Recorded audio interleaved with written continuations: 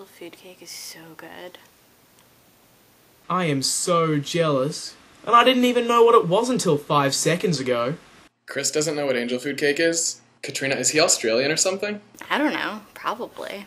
Dude, your mom baked me an angel food cake last night. It was pretty delicious. Now that the random unnecessary cameo's over, on with the video! So I was watching Alan's video at 5 Awesome Guys today, and I was thinking about vlog ramen and whether we were actually getting to know each other.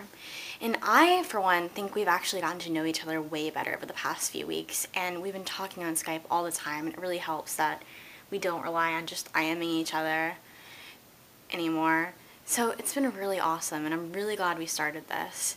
I want to wish you luck on your mystery MySpace girl. Vlog ramen viewers, stay tuned to Wednesday to see if Mike kills me for saying that.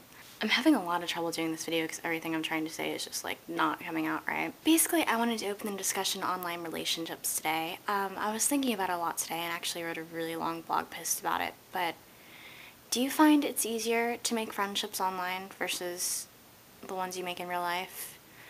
I mean, I've just found that some of my friendships I've made online have lasted a lot longer than some of the ones in real life. Um, I don't know. I, I want to know what you guys all think, like post comments and video responses, because I'm just kind of curious. This isn't something like people talk about all the time. That's all. Uh, Mike, I'll see you tomorrow. Bye. Mmm. I'm really glad we started this. Like, we talked.